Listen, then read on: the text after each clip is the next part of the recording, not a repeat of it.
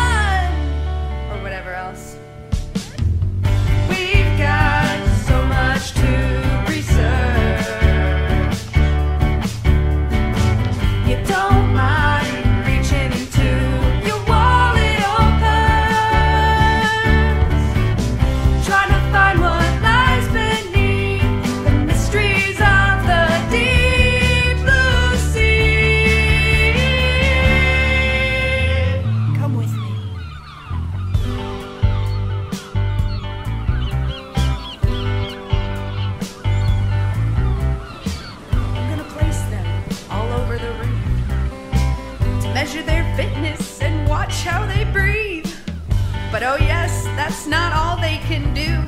Their tissues have algae that photosynthesize too. But when they're stressed, we can learn a lot. Like what species can survive when it gets really hot. We've got